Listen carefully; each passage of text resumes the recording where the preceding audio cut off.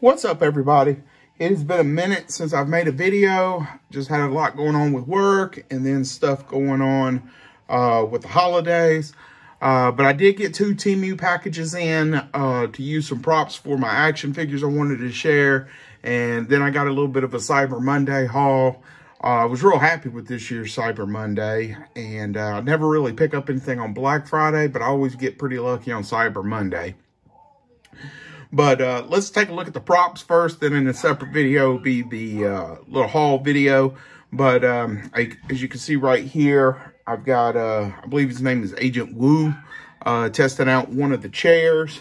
But in the background, you'll see right there, those are two bookcases that I've put together.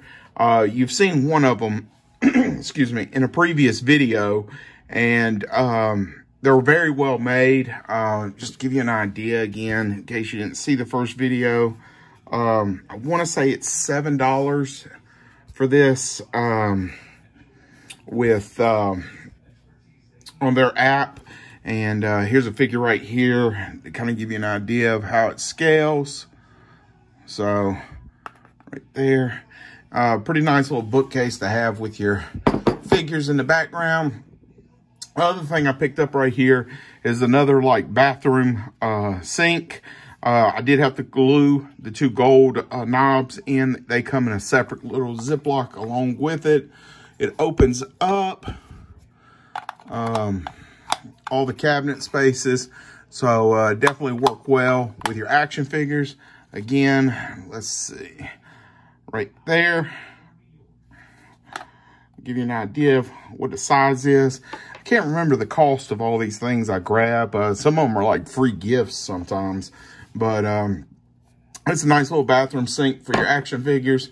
Uh, got two um, stationary type like chairs. Uh, they each came with like a pillow. The pillow is a little too much. So if you're trying to put a figure in it with the pillow, you're not going to have much room to work with. You can see I have a figure sitting in it. I'll show a comparison of what it looks like with the figure standing next to it. It's like a cloth material. It's wooden um, legs on it. I think that's wood. That's wood. That's wood with a cloth overlay. Uh, it's got a cushion.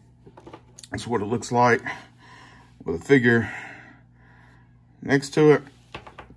This is what it looks like with a figure sitting in it. You can see is um, buttocks does rest on the chair. Uh, so it scales real well. And uh, yeah, looks pretty good. The next thing we got is this toilet. I got a couple of these uh, coming in. I like the way it's scaled. If you ever do like a bathroom scene where um, someone might be fighting in the bathroom of a public restroom or something. But uh, it scales real well. Got a working seat, working lid. Um, nothing on the bottom. Um, it's a little hollow right here. So it can get a little heavy, but of course that'd be kind of against a wall somewhere. But yeah, scales pretty well. So in case you want to use it for your photography. Next thing I got was this water dispenser. I can't remember if I've had this one before or another one that was a little bit smaller.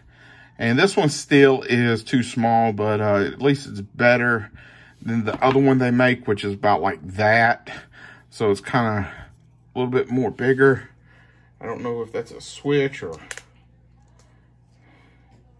I can't tell if that is a switch in the back. Um, this stuff is all mass produced in China and uh, you get it at a pretty good uh, cost. Um, right here is uh, a stand-up mic. The mic does come free, so if you want the figure holding the mic, but um, I figured this would be good, again, for action figure photography. Standing right there. And then the next thing we got, these two are the same thing. I think I've showed one of these off before. So you got that color and that color and it's just like a, I guess it could be a vending machine where it's got some cold items in it, or uh, if you're building an office diorama, you could put some stuff in it. Um, but it's real well made. It's got, uh, it's made of wood.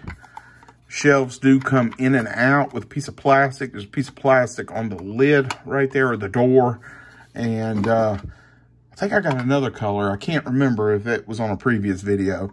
But you could utilize these in office picks, uh, convenience store picks, or maybe even uh, if you're building like a collection room for your action figure. Um, laboratory to keep specimens in. But um, yeah, these are pretty well made. And, and like I said, these aren't very expensive. It just depends on what you're looking at. Again, pay attention to the description.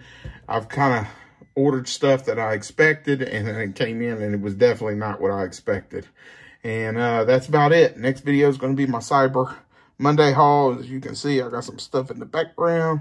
Hope you enjoyed this vid. I hope you enjoyed these props. Let me know in the comments which one was your favorite. Let me know if these videos are helping you on uh, finding stuff. This is like online Dollar Tree. It's, I mean, it's just perfect if you're looking for just inexpensive props for your action figures without having to drive store to store. The shipments do take a while because, again, they do come directly from China and uh, average is about 10 to 11 days to get it once you submit your order. And uh, yeah, it's just kind of fun place to find some stuff. So um, hope you enjoyed that and uh, hope you're having a good holiday season. All right, later. Bye.